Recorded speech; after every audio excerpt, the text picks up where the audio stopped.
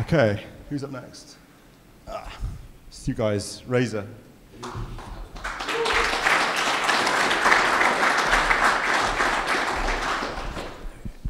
I'll turn the dings off. I like a good ding. we always put it back on I again. love that bright box. It's absolutely wicked. I can't wait to take my kids there. Um, they'll, Yeah. they'll love it. Yeah, yeah. Teach them how to solve problems, not how to write code. I love that. Okay, uh, hi Andy. Hi, how you doing? Met, you all right? How you doing? Nice to meet you. You too. Andy, Yes. Chris, Chris, Andy. I know Jamie. Yeah, he knew me. I feel like I should be keeping like this, but Okay, uh, so this is uh, Andy Gunn and uh, Jamie Hinton from Razor, um, who are here to talk about Market of Mums. Yep. Um, so should we look at the first of your slides Yeah. that you brought with you? Let's have a look. So talk, talk about this. So you, you can look down yeah. here rather than at the big I was going to say, what, what actually is this market of mums?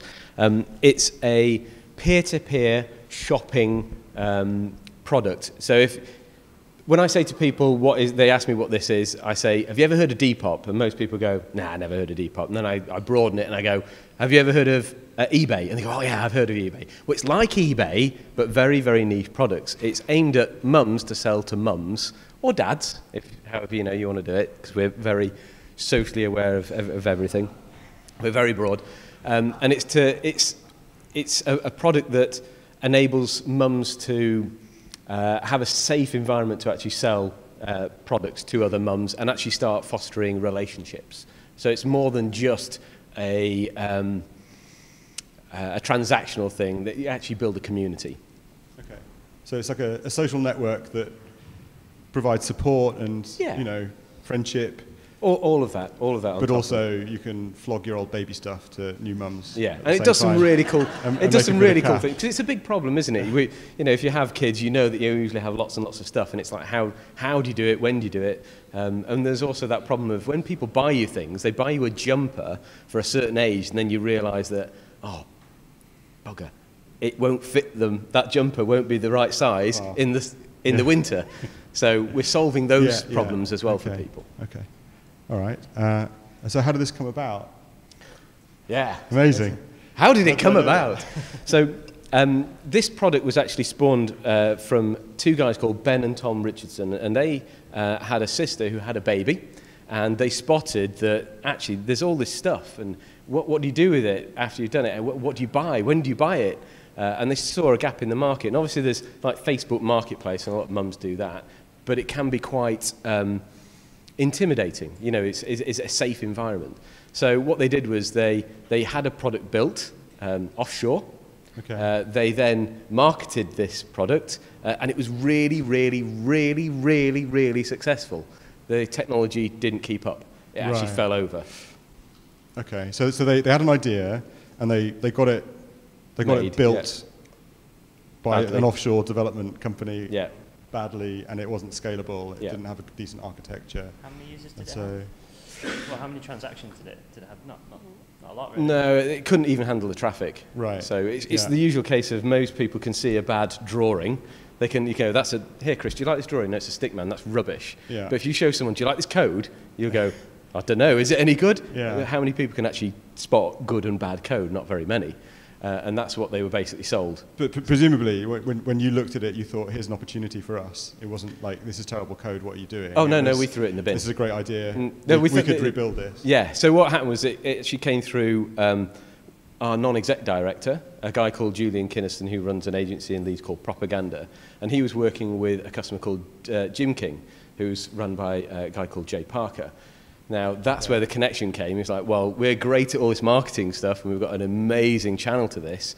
How do we, we we need some technical people who can build this. Do we know any technical people? Oh, Razor. So we were then employed to, to build this product. Okay, and th- these, these, these guys are in Leeds, is that right? That's right, they're in Leeds okay. and York. Okay. Uh, so, so, they, so, they, so they just hired you?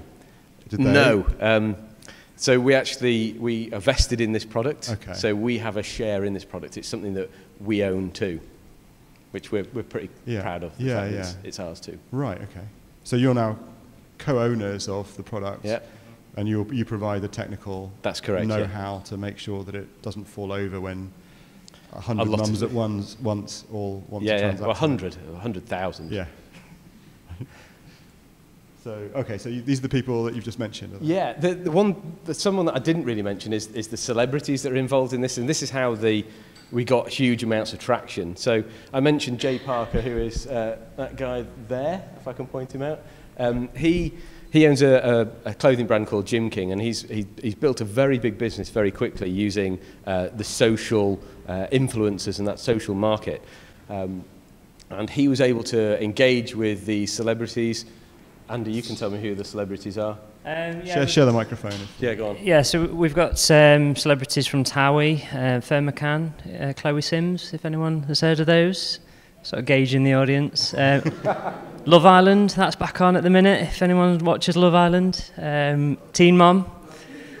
Uh, a few bloggers. Um, Sophie from Coronation Street, she was actually at the, the launch event. This was, was this last month? or- Yeah, it was, yeah. yeah. So we you have, it's like a supply chain for you guys, you know. Oh, the- yeah. You have Love Island and then... yeah, And then they they all have mums, babies. They all have And babies. and then they- they use And this then- app. Yeah. Perfect. So they're, and obviously we've got uh, Jay Parker, um, we've got Julian Kinniston involved, and we've got Mark and Julie Hardenberg from Angel Care. So lots of specialists okay. from different perspectives. Yeah. So we bring the tech, obviously, and we make that work, and then we've got all the specialists in different areas, from the For marketing, the marketing and PR, program. and the brand building. and presumably that's, that's all, that's through Instagram as well. And Instagram, Twitter, mainly Instagram, I think, Instagram, is the, yeah, is the big thing.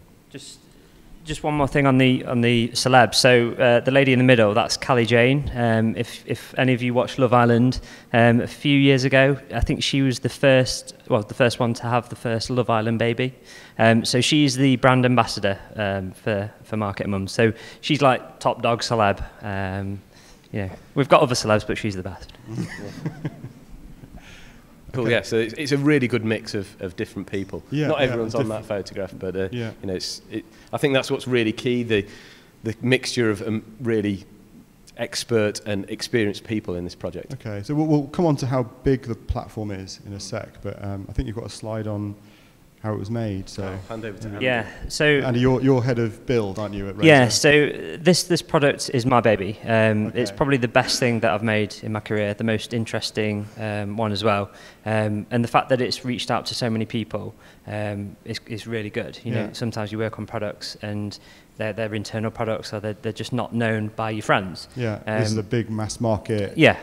So when we launched this, you know, a lot of my friends um, were downloading it.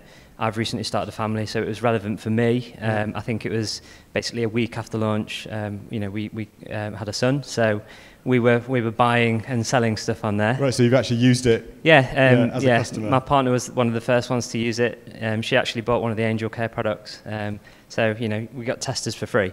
Um, but you know, it, it got shared by by all of my friends and family because it was relevant. Uh-huh. So, so, So- talk a little bit about the infrastructure. Like, what did you, you know, how did you gauge what kind of scale it needed to be and, and what the architecture needed to be? So. I mean, we, we, we guessed that the numbers would be high. Um, going off Gym King's reputation Yeah. uh, with social media, we knew that their influencers would bring the users in. Um, so we knew that we needed a platform that was scalable, resilient, reliable, and we knew that the, the previous platform just didn't provide that. Yeah. Um, so we're all about Microsoft, Microsoft first. So we looked at Azure, um, and we used the platform as a service. Uh, so that gave us a way to to make things scalable, um, potentially infinitely. So when we get uh, you know a celeb posting around eight o'clock in the evening, Yeah. um, we might get a few thousand uh, users sign up, um, extra products sold, etc., etc. So we can just turn on auto scaling. Um, extra servers are brought in. We don't need to worry about it. You know, we're at home having tea or whatever. Yeah. You don't need Um, to No. pay particular attention So we're not or schedule things in advance or No. have a, a Well, complex rota set up. For, We, we, we might put a, a schedule in place just in case, but Yeah. we've, we've got like the, the capability to turn things up automatically. You know, we're constantly monitoring memory, CPU, that sort of stuff. Uh-huh. Um, so we, we don't have to be there. You know, it's not like we've got dedicated servers um, that Mm-hmm. are costing, you know, hundreds of pounds to have them, them on and, and paying for someone to maintain them. Um, we're just utilizing Azure um, Mm-hmm. and everything that's in there, um, letting that do, do the hard work for us. And just just on Azure, we're using some of the really advanced features such as the cognitive services. Okay. Um, so if anyone uploads a, a product image or a, a profile picture, we, we check that they've not uploaded any nudity. Right. Um, you know, because we want to create a, a safe and secure yeah. network for the parents. That's that's one of the core uh, mantras that we've got. Our testers enjoyed that one. Right. Yeah. Yes, Yeah. uh, yeah. I think I've still got uh, yeah. Do, I mean, do, do you get stuff being flagged through the through those processes? Yeah, so And you ba- have to- basically every time an image is uploaded, Yeah. it automatically goes into the Azure Cognitive Services, Uh-huh. um, and that, that product or that, that user profile will get flagged. Someone will have the, uh, the nice job of going reviewing that. Yeah. Um, some of them, some of them better than others. You know, we, you know, so, sometimes we get false positives. It's like, Sure. oh, that's not, not, not racy, but you know, sometimes there is actual uh, racy content. Yeah, yeah. We can then take that down immediately. Cool. So- So, how long did it? How long did the project take from when you first looked at the terrible code that you produced by deleted someone it. Yeah. Um, I think Just spinning up, you know, and relaunching. I think it was probably about three, three, four months maybe. Um, it was quite a big project. Um, yeah, there, there's quite a lot of moving parts in there. So we've got a mobile app that's written in Xamarin Forms, um, so we can write the code once and we can target both platforms. Uh, we've got a front end site, so you can go to marketmums.com. You can see some of the products. Uh, we've got a back end site where you can moderate all your images. Um, you know, look at a user, see what they've been doing. Um, Right. Because again, we want to create the safe and secure network. You can uh, report a user if they're being abusive. Um, you know, that we've got a messaging platform, so we've, we've got all bases covered. Um, so yeah, there's quite a move, few moving parts there. Yeah, cool. And so, what? The, I think the last slide is about scale. So, Yes. where, where are you now? So at the minute, I, I mean, that says 50,000 users. Um, we had a check today, and that's more like 60,000. Um, so, and these were generated last week. Yeah, because I was so on it. He's, he was organised. um, so you know, it, I it- took the mick out of him for delivering the slides a week early.